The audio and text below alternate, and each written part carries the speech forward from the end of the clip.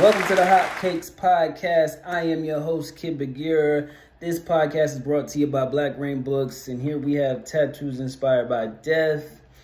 Uh, this is a fan favorite. This is one of my favorite ones, and it's basically just about why someone decided to get a particular tattoo based off someone who passed in their life.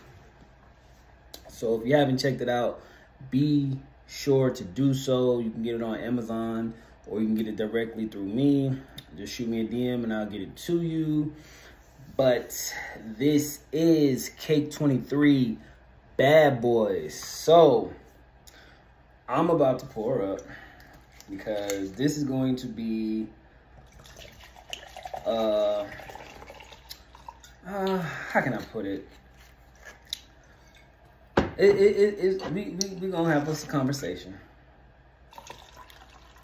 We gonna have us a good old conversation. Now, out the gate, I'm gonna just say, if you haven't seen the new Bad Boys, you need to go see it. I'm making the claim right here, right now, that this is the best movie of 2024, point blank period. There will not be another movie that comes out this year that will be better than it. It just will not happen. I don't give a fuck. Now, will Beetlejuice rival it? Absolutely. Um, and obviously from from a standpoint of nostalgia and you know the fact that we haven't had one in forever and we all love Jenny Ortega. So or is it Jenna? I, I don't know. So well, don't quote me on her name. But we all love Wednesday. That that's who that's who she is now. She is now Wednesday. Like she's no longer whatever her government name is. The name that her parents gave her, she's no longer that. She's Wednesday. Um, that is a legendary character, and she is murdering it. So that's that. But speaking of legendary characters, Marcus Burnett and Mike Lowrey are also legendary characters. They are forever in our culture. So, with all that being said, there will be no movie better than Bad Boys 4 this year. It is already the best movie of this year, and we're only we're at the halfway point. We're six months in, uh, and I can't even think of any other movie that could rival it. Um, and, and, you know, give it a little run for the money and yada yada yada. Uh, I'm thinking, uh, like I said, Beetlejuice the only, but I know it's another movie coming out in either September or October. That's like another big movie, but I can't remember, and I'm not gonna worry about it. So, with that being said, like I said, Bad Boys 4 is the best movie of the year. We're gonna drink to that now.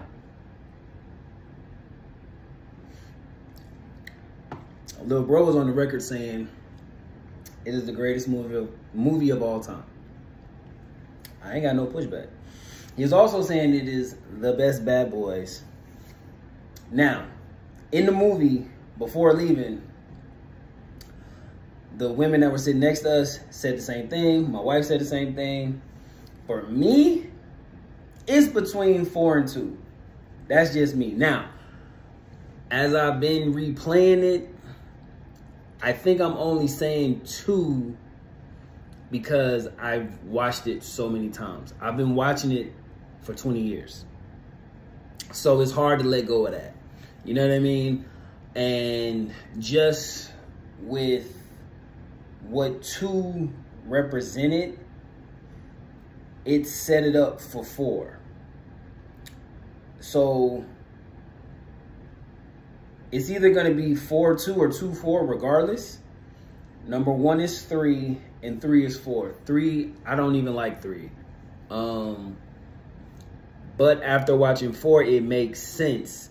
And even though four is still kind of like on the heels of three, it just is what it is, and it all makes sense. Like it just, it just is what it is. So for me, it's like they can make another one, and I know it'll be good, but uh, for me, just just let it go. At this point, just let it go, and that's that. You know what I mean? Uh, a lot of parts from the first three came back around, so it's kind of like a full circle moment. and it's a lot of parts in there where you just like, God damn. You know what I mean? And uh, obviously it just came out, so I'm not trying to give any spoilers. But y'all gotta go fucking see this shit. Like,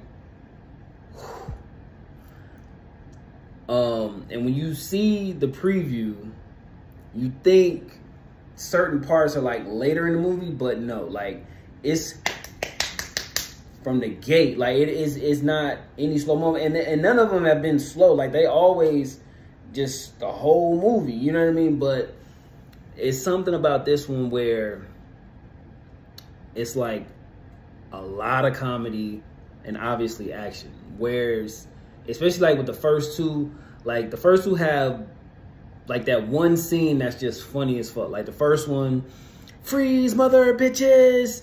And then the second one, when Reggie came to pick up the daughter. You know what I mean? Like those were the two funny parts, right? Even though with Martin and Will, throughout the whole movie, shit is hilarious. And obviously the parts with Fletcher, right? But those aren't necessarily comedies, they're action Like this one, oh my goodness, it is hilarious. Just funny as fuck. So, like I said, I can't decide between four and two. Um, and I'm not gonna argue if you say four is the best one. I'm not. So don't argue me or anybody else who says two is the best one. You gotta remember, we've been watching two for 20 years. It's hard to let that go. You know what I mean? To really sit there and analyze and be like, is is four better? You know what I mean? Um, but four was on one, like dying laughing in the movie, just looking and, and watching all the action just oohing and ahhing, like they did their motherfucking thing with this one. You know what I mean? And like that's why I'm like, just let it go because it was easy to top three in my opinion because I didn't like three. You know what I mean? And now after watching four, it's like, can y'all really top this shit? Like, I'm not saying they can't, you know what I'm saying? Because any competitor and anyone serious about their craft is going to accept the challenge. You know what I'm saying? Whatever happens, happens, but I'm going to accept the challenge. And I know both of them will accept the challenge. And nine times out of 10, they already started working on the script for the fifth one. Um, and we were talking about that a little bit what the fifth one may be about. But again, I'm not gonna give any spoilers. Um, y'all just gotta go see that motherfucker, man. Like, man.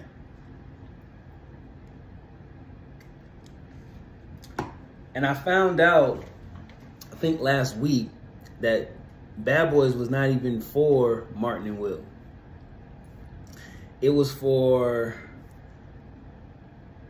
I, I I can't remember his name. Um, he got that weird ass voice. I think he's Jewish. I'm not really sure about that part, but I'm trying to think of a movie y'all would know him from. Y'all ever seen The Great White Hype, Saul, him. Um, he's been a recurring character on The Simpsons but never the same character. He was Marge's art teacher. Um, he was the he owns a nuclear nuclear power plant that rivals Mr. Burns in Shelbyville. Uh, who else was he? He was some other character. He's been like four or five characters. So it's him. So if y'all know who I'm talking about, it's him. So the original one was for him and some other white guy. And those two ended up falling out. And then it got to Martin. So Martin invited Will over for dinner and presented the movie to him, the idea. And, you know, Will wanted to read the script, and Martin was like, no, you cannot read the script. It's horrible. And seeing the two that it was supposed to be for, I know the script was horrible because it was supposed to be like some type of comedy for real, for real. So obviously, when you have two actors that are at the top of their game at that time. They're not doing that. Nah. We're gonna change it. We're gonna have some comedy, obviously, but yeah, no, we're not doing this. So thankfully those two fell out and we got what we got. And we have a masterpiece of a franchise. I'll put Bad Boys up against any franchise. I don't want to hear no Star Wars shit. I don't want to hear no Star Trek shit. I don't want to hear no Lord of the Rings. I don't want. I don't want to hear none of that bullshit. Twilight, whatever. I don't. I don't hear none of it. Bad Boys is at the top, point blank. Period. We're not talking black movies. We're not talking white movies. We're talking movies. Period. We ain't. We're not even gonna put the black on it. We not, cause it's at the top of movies. Period. Um and even though as we watched all these movies as they came out, it's like, God damn, they're taking too long to come out.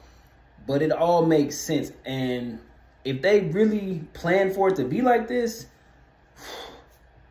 hats off to them. You know what I'm saying? Because it just all makes sense as we've gotten to this point. You know what I mean? Um, and I'm just so glad that four didn't take that long to come out after three. I think only two years, I think. The third one came out in 22, if I'm not mistaken. 22? Yeah, I think so. 22, yeah, yeah. So, or 21, whatever. Either way, two to three years is normal, right? Typically, when you drop one and you know you're doing a sequel, the second one's going to come out in two years. Um, and that third one may take a little time or it may never come out, whatever. But again, so if they do a fifth, it'll probably come out 26 or 27. Um, but for me, they, they, they can just leave it like it is. It's good. So, man, y'all gotta go see it because I want to talk about it so bad. Oh, it is so fucking good. So good, so good, so good.